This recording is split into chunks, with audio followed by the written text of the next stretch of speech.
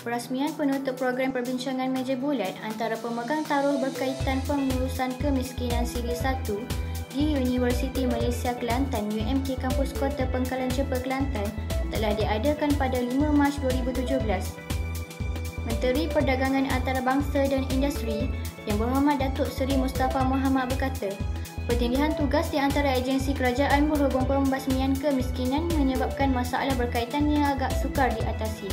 Sementara itu, Profesor Madya Dr. Wan Ahmad Amilza berkata, hasil sebulat suara semua pihak yang bersidang pada program meja bulat pengurusan kemiskinan di Malaysia berjaya memperolehi dua resolusi yang dapat membantu dalam menguruskan kemiskinan antara pemegang taruh di negeri ini.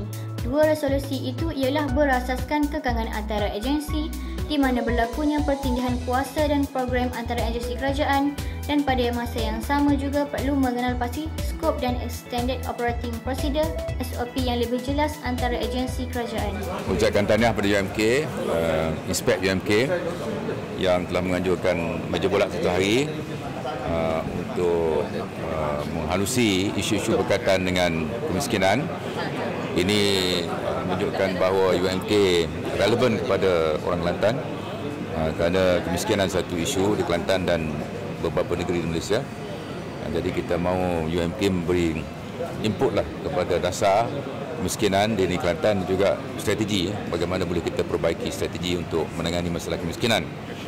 Jadi saya maklumkan tadi uh, salah satu penemuan ialah terdapatnya pertindahan application kerja-kerja agensi kerajaan ini bukan perkara baru ya cumanya Uh, perlu diberi cadangan bagaimana boleh kita kurangkan uh, pertindahan tersebut uh, supaya kerja-kerja kita ini dapat uh, mencapai sasaran yang telah ditetapkan. Ini satu perkara yang penting ya iaitu cadangan spesifik bagaimana kita uh, nak kurangkan pertindahan.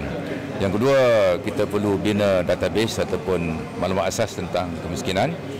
Kadang-kadang definisinya tak konsisten ya kesukaran dari segi teknikal untuk mendapat satu uh, petunjuk yang yang yang tepat ya. ini satu perkara yang perlu dihalusi.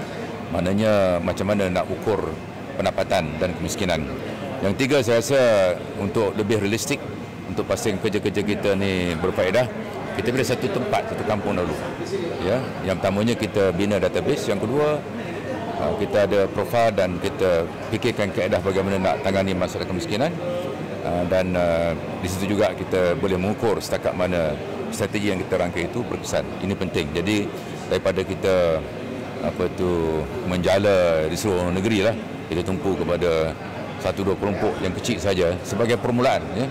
Dan kalau kita berjaya di situ boleh kita pastikan kejayaan yang kita capai di situ kita perluaskan ke tempat-tempat lain. Um, program kita anjurkan hari ini sempena dengan salah satu fungsi yang ada dalam ISPEC yang mana kita ada empat fungsi iaitu penyikan, pembinaan ilmu, kolaborasi dan juga pembinaan database.